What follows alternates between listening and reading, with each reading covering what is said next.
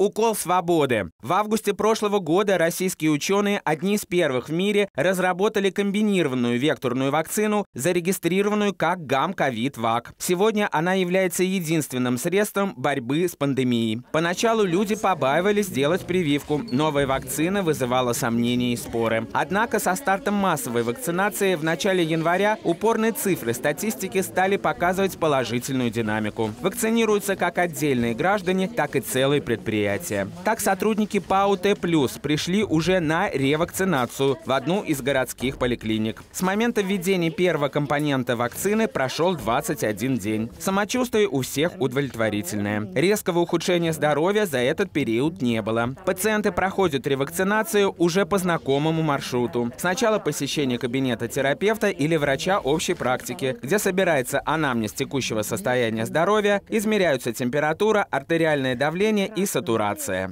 Сразу предупреждаю. Молодой э, контингент у нас более ярко реагирует. Угу. Но если вы на первый не прореагировали, значит второй может сопровождаться ломотой. Ни температуры, ничего нет. Давайте, пожалуйста. Далее пациентов направляют в прививочный кабинет на введение второго компонента вакцины. Три дня также не мочить, не тереть вместо кольчика. На ночь выпить можно спросим или любой таблеточку, есть завтра. Если температура поднимется, значит надо таблетку парацетамола. Ну, же 38, если поднимется.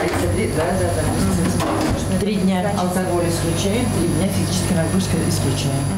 После этого пациентов приглашают в комнату медицинского наблюдения. Здесь не менее получаса они находятся под контролем медработника. Считаю, что вакцинироваться лично для себя приняла решение для того, чтобы воспользоваться возможностью, когда есть такая вакцина, первая в мире, а, чтобы исключить возможность заболевания и полноценно жить и работать. Не следует забывать, что после введения второго компонента вакцины ее приживание составляет также 21 день. Во-первых, мы понимаем, что мы уменьшаем количество возможных заболеваний в коллективе. А работа у нас достаточно специфичная, мы обеспечиваем город теплом и электричеством, поэтому, исключая возможность заболеваний, тем самым мы гарантируем работу. Ну и сами не болеем, и семьи, семьи свои сохраняем. Для этой группы из трудового коллектива вакцинация завершена. А наша съемочная бригада перемещается непосредственно на территорию Ульяновской ТЭЦ-1. На улице мороз, а в домах наших тепло и уютно. И все это благодаря непосредственно работникам предприятия ТЭЦ-1 города Ульяновска. Сегодня мы приехали к ним на предприятие, чтобы посмотреть, как будет проходить процедура вакцинирования новым пациентам.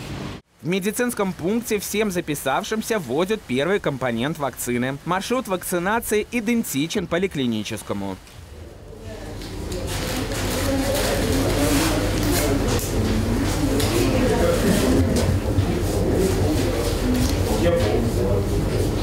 Может быть небольшая температура. 38. 37,2. 37,2 взбодрил его. Там в коридорчике присаживайтесь, да? Практика коллективного прививания на предприятии не нова. Ежегодно на станциях мобилизуют прививочные кампании против гриппа. Поэтому вакцинацию от коронавируса непосредственно на рабочем месте сотрудники ТЭЦ встретили благосклонно. О возможных противопоказаниях работники были информированы заранее. У нас заблаговременно была проведена обширная работа нашим предприятием.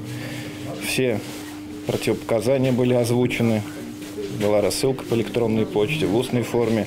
То есть все люди, которые сюда сегодня пришли, были предупреждены.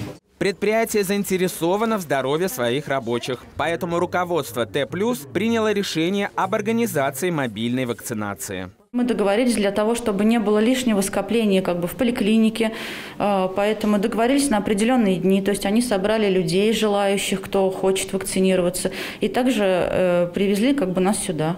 С каждым работником предприятия врач проводит предварительную беседу о состоянии его здоровья и хронических заболеваниях. Если есть сомнения, доктор обосновывает причину медотвода. Всего на производственных предприятиях филиала трудится около тысячи работников. На вакцинацию пока что записались порядка 300 человек. Будем надеяться, что уже совсем скоро спутник победит пандемию коронавируса и освободит человечество из оков тяжелого недуга и страха заболевания. Антон Никонов, Даниил Сурков. Новости. Улправда ТВ.